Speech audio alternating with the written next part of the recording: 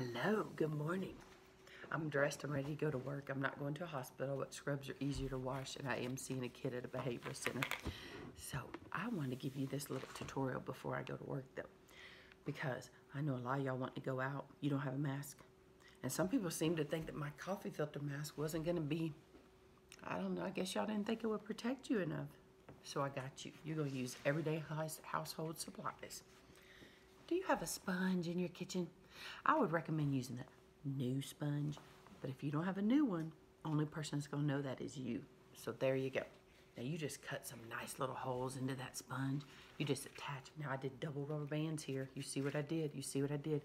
This is for my do-it-yourself tutorial, or as some people like to say, tutorial.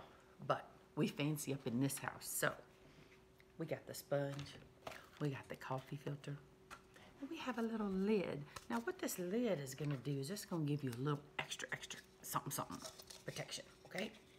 So I wanna put a little extra holes in there. we gotta be able to breathe, but we don't want too much coming in, okay? So this is what you're gonna do. You're gonna take that lid right there. You're gonna put that lid on top of that coffee filter like that. And we're gonna put the scratchy side out. You don't want the scratchy side on you the scratchy side out. If Somebody tries to come close, you just scratch them with it.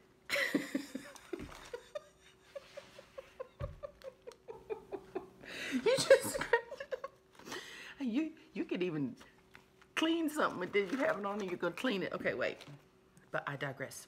Now, we're gonna put this right here like this. Now let me tell you how this is gonna work. How it's gonna work. We're gonna put it like that. You're gonna put that on your ear. You're gonna put this one on that ear. Now, it is a, I have to admit,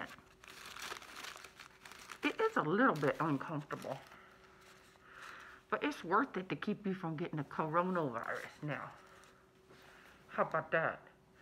I'm pretty sure people will stay six feet away from you regardless whether the mask works or not. They're going to see this and they're going to say, get back, get away from her. Ooh, she's crazy. Look at that, though. Look at that.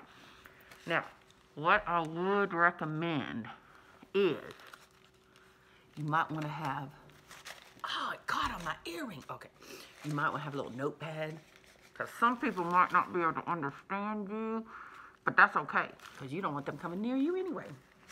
So there you go. Household items. You make your own mask and you are good to go. You are very welcome for this tutorial. Now y'all be safe out there.